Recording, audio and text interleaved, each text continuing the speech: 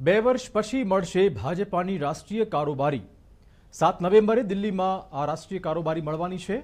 રાષ્ટ્રીય અધ્યક્ષ બન્યા બાદ જેપી નડ્ડાની પહેલી કારોબારી બેઠક હશે. ભાજપે રાષ્ટ્રીય કારોબારીની જાહેરાત કરી દીધી છે.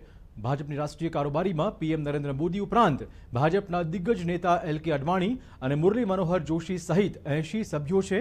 ગુજરાતમાંથી કેન્દ્રીય મંત્રીઓ અમિત શાહ, મનસુખ માંડવિયા, પરસોત્તમ રૂપાલાનો પણ સમાવેશ કરાયો છે.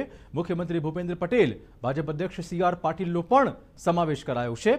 તો કાયમી આમંત્રિતોમાં પૂર્વ મુખ્યમંત્રી વિજય રૂપાણી અને પૂર્વ નાયબ મુખ્યમંત્રી નીતિન પટેલનો પણ સમાવેશ કરાયો છે.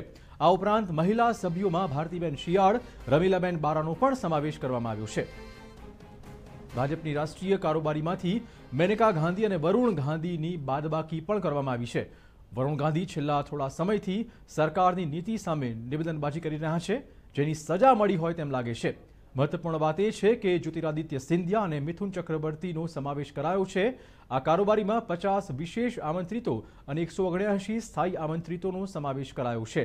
સાત નવેમ્બરે દિલ્હીમાં રાષ્ટ્રીય કારોબારીની બેઠક મળવાની છે. જેપી નડ્ડાના ભાજપ અધ્યક્ષ બન્યા બાદ રાષ્ટ્રીય કારોબારીની આ પહેલી બેઠક હશે.